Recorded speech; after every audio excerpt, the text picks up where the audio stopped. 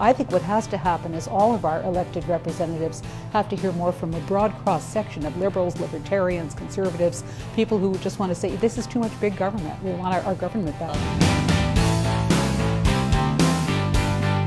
Hi, I'm Nick Gillespie with Reason TV, and today we're talking with Susan Herman, who's the president of the ACLU, but also the author of Taking Liberties The War on Terror and the Erosion of American Democracy. Susan, thanks for talking to us. Thank you, Nick. Thanks for having me. We've discussed that I can't pronounce most names that are going to come up in this conversation already, but it's not covered in your book, but it is very much in the news. The killing of the American citizen Anwar al-Awlaki. Awlaki. Awlaki okay, uh, of the U.S. on direct orders from the president. The ACLU filed a lawsuit on behalf of Al Awlaki's father last year, or in July. What was your lawsuit, and how does it play into what happened? Well, our chief concern about this case was the process, that we don't know what the criteria are that the president has been using and what the limits are. On and this is, he has a kill list, right? Or I mean, this is what we only we, know this yeah. through leaks. We don't know this right. because any information has officially been given to the public. Right. But to me, if the Constitution means anything, it has to mean that the president can't just designate an American citizen to be an enemy and then kill them. And this wasn't even in a theater of war, a theater of formal war. So the theory is if you can kill somebody, an American citizen in Yemen or, or Pakistan, why not Barcelona and why not Washington, D.C.? He hasn't uh, refuted any of this, but he's also not confirmed it officially. But how unprecedented is it for an American citizen to order the assassination of another American citizen? A lot of that yeah. goes you know, behind the curtain. You know, I, I, think you know, there are not a lot of form, certainly there's no permission to right. do such a thing. And I think what it, this gets to is it's one of the derivations of the concept that we're at war mm-hmm. and that this is an untraditional war and therefore right. the president has untraditional powers. Let's talk about that because uh, George Bush talked about the war on terror, the war on terrorism. Are we at war? And if so, does that justify kind of wiping away a bunch of liberty? I was a philosophy major in college, and I've often learned that if you're having a discussion, it's good to define your terms. Mm-hmm. And to me, the very definition of war includes an element of politics that there's a, somebody on the other side you can negotiate with, that everyone understands what the rules are, that people wear uniforms, that there's a confined theater of war, and that the war can end. It can have a treaty and a termination date. And you know, when does the war on terror end? And you know who who surrenders, who writes the peace treaty. So okay, to me, so, you know, the yeah, metaphor so takes you we're too not far. at war. Not technically, certainly, yeah. and oh. you, there, not all the consequences of being at war would follow. In the case of Al Qaeda, in the case of uh, terrorists who have who have committed crimes on American soil, it's obviously not a traditional power, uh, state power that you can declare war on. Um, is how do, how should we go after terrorists then? We're not saying Iran is responsible or even Iraq I mean, we invaded them for other reasons, and we'll leave that out of this discussion. But how do you go after a group like Al Qaeda? Well, I think what you just said, Nick, was they've committed crimes on American yeah. soil. And I think that the criminal justice system has been really quite effective in, in prosecuting well, talk about that because this is uh, people who push back and say, oh, you know what, if we have military tribunals, that'll, that'll help. Whereas, in fact, most of the successful prosecutions of uh, conspirators and uh, actors have actually come through the regular courts. That's right. We've had convictions of terrorists, you know, for terrorist plots in the regular civilian courts. So far, the tribunals have not really come up with anything, partially because we're having a lot of disagreements about what the appropriate procedures should be and whether it's fair to just come up with procedures to try to get more convictions. From an ACLU perspective, or from your perspective, uh, was the uh, killing of Osama bin Laden justified? He's legally? not an American citizen. Mm-hmm. Let me actually step back yeah. a minute on your question about what's justified here um, in response to terrorism. There was a really interesting report by the International Commission of Jurists, which sent an eminent jurist panel of all sorts of people around the world for three years, interviewing all sorts of countries that had had challenges from terrorism. Mm-hmm. And after talking to them about how they had changed their laws in response to the challenge of terrorism and how that had worked out, their primary conclusion was that the countries that had done best were the countries that didn't change all their principles and all their laws to you know, rise to the occasion, but those that just shored up their when legal you, when you say you did best, that they actually secured the most prosecutions or convictions? They also, you know, the, uh, countries were sorry when they had Yeah. sort of thrown away their principles, and you know, th- you know, this Ireland and Argentina and Israel and all sorts of countries. So you know, I think there's no reason to be selling our principles and you're just throwing them away. And this is fully a bipartisan kind of cashing out of constitutional protections because really the Clinton administration under Janet Reno That's was right. pushing for much of this already. Then the Bush administration created it. And then the Obama administration, I mean, Obama uh, was uh, lauded really during the campaign as uh, he said that he would not be acting with the same kind of churlishness towards constitutional precedent that Bush did. But that really hasn't played out, has it? He's been different in some respects. I mean, he certainly has different uh, policies on interrogation Right. techniques. But as to the things I write about in my book, domestic surveillance and the things that affect ordinary Americans, his policies really have not been any different. He wants all the same dragnets that President Bush wanted, yeah, starting in the fall of 2001. Well, uh, we just celebrated the 10th birthday of uh, the Patriot Act, uh, which opened up a wide variety of new surveillance opportunities for the government. Right. Talk a little bit about that. How is the Patriot Act continuing to be a threat to American civil liberties? Hardly anything has been changed since the fall of 2001. There have been minor you know, um, adjustments here or there, but most of it is still exactly in place. And I'll give you one example. One of the powers that was enhanced by the Patriot Act that some people have heard of by now are the national security letters, mm-hmm. where the FBI can demand certain kinds of information from telecommunications providers, financial institutions, with no court order at all. The FBI or somebody in the federal government says, hey, I, this is a, an investigation about terrorism or national security concerns.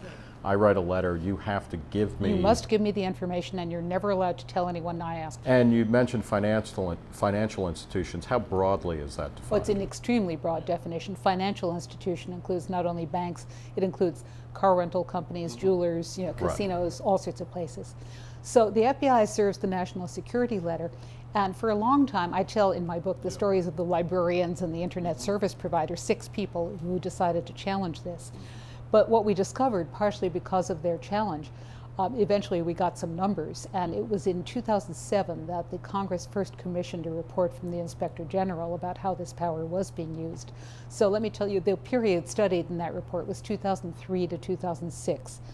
In those years, 194,000 plus national security letters requests were served, almost 200,000.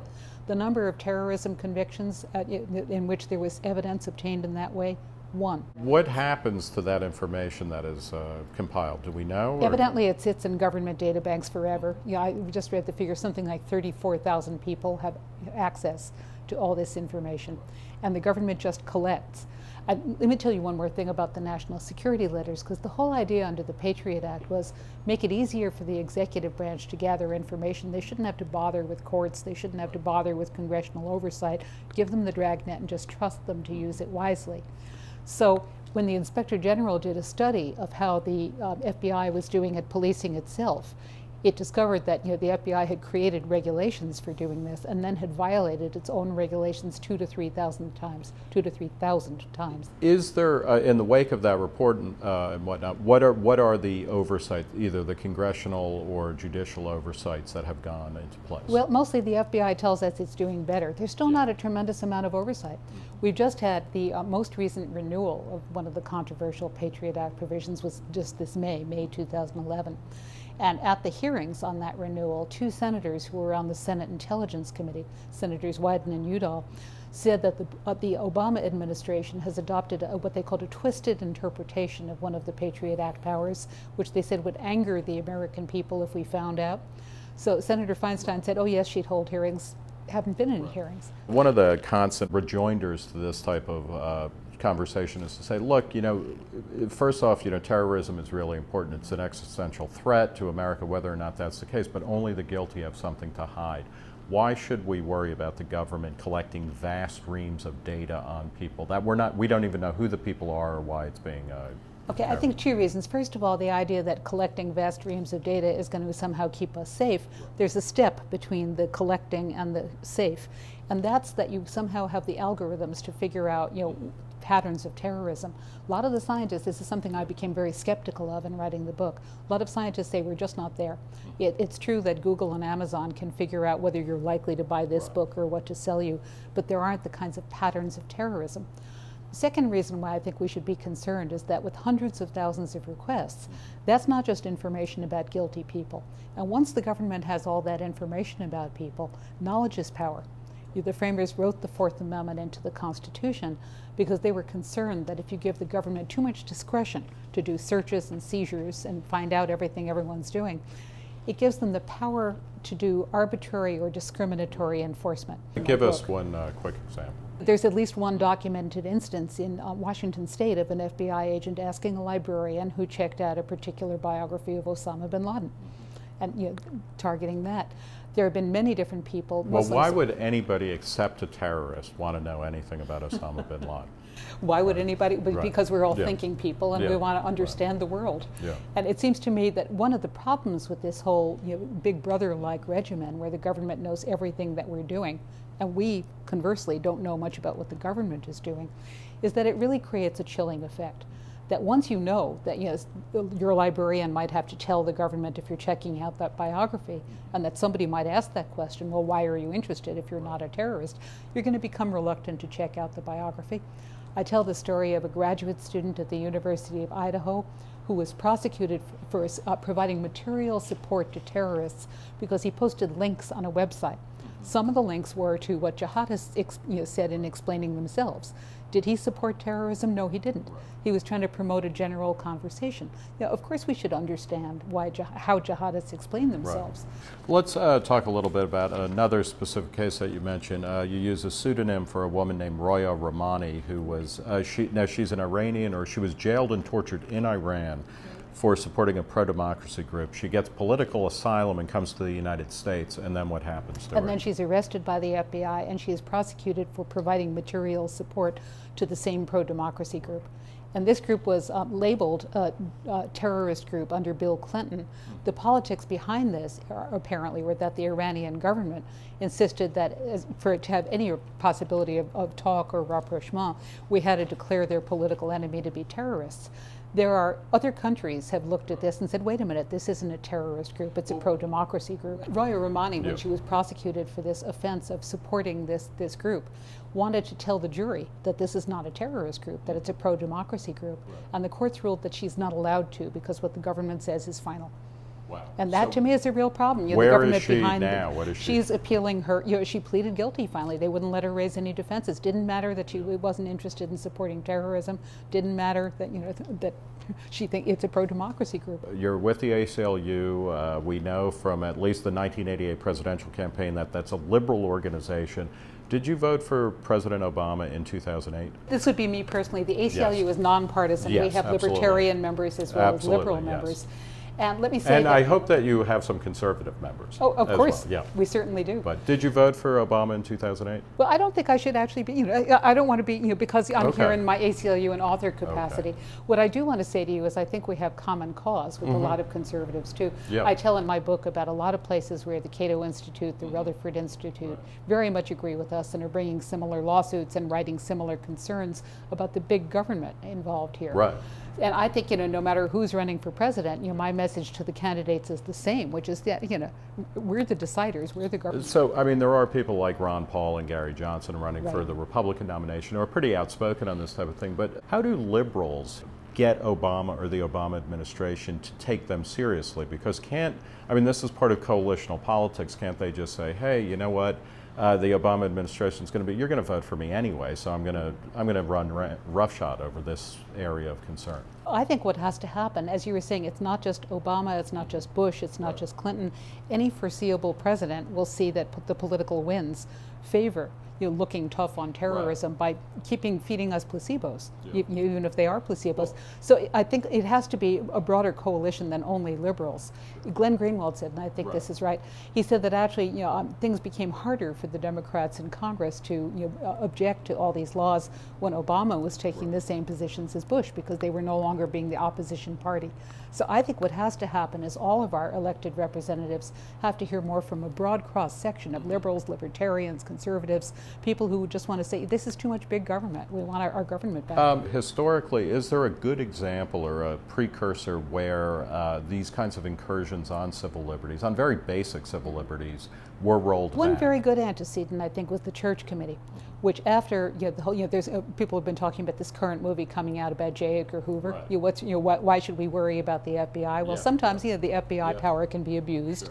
Uh, J. Edgar Hoover was in fact spying on Martin Luther King and Right. various people. The Church Commission, which uh, took place in the 70s and, and re- revealed a huge host of uh, civil rights violations by the National Security Administration, the CIA, the FBI.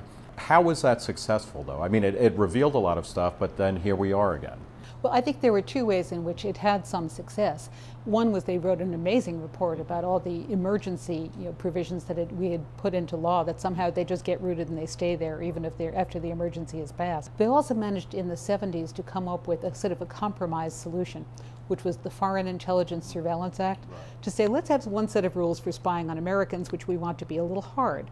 The government should have to get a second opinion from a court, as opposed to if we want to know what the Soviet embassy is up to, hey, it's the Cold War, that should be easy.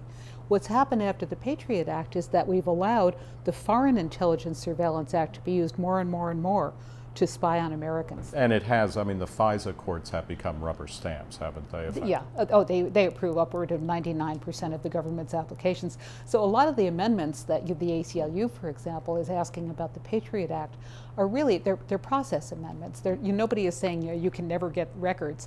What they're saying is you should have to go to a court. You should have to show a court that you really have a reason to get the records.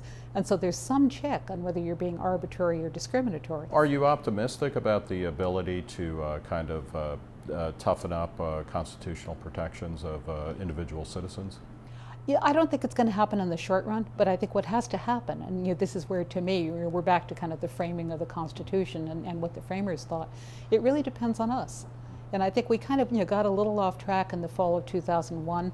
And again, I think this is a little bit the war metaphor the idea that we have a commander in chief who's going to decide everything for us, and that we don't get to make the decisions and we don't know enough, and we should just trust the government to decide which of our liberties and privacy and due process we have to give up.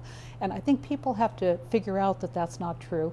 And that's only going to happen if people start asking more questions instead of just, you know, I think kind of putting our heads in the sand and saying, well, you know, it must be keeping us safe because, you know, we haven't had a major attack. Well, you know, cause and effect. I want to thank Susan Herman, uh, the president of the ACLU and the author of the new book, Taking Liberties The War on Terror and the Erosion of American Democracy, for talking with Reason TV. Thank you, Susan. Thank you.